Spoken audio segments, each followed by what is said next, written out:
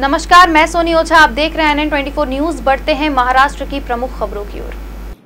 स्वर्गीय विनय कुमार परासर नाम उड़ान पुल को देने की मांग को लेकर आज केंद्रीय मंत्री नितिन गडकरी द्वारा उड़ान पुल उद्घाटन से पहले वंचित बहुजन अघाड़ी ने उड़ान पुल पर काले झंडे लगाकर विरोध प्रदर्शन किया।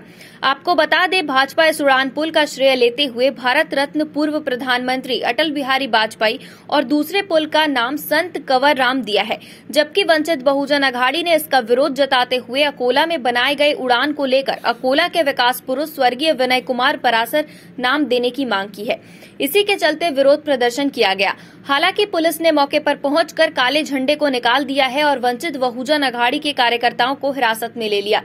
आईएनएन 24 न्यूज़ के लिए अकोला से संवाददाता शाहिद इकबाल की रिपोर्ट। वंचित बहुजन आघाडीच्या वतीने या शहराची जनभावना केंद्रीय मंत्री गडकरी यांच्यापर्यंत पोहोचली पाहिजे.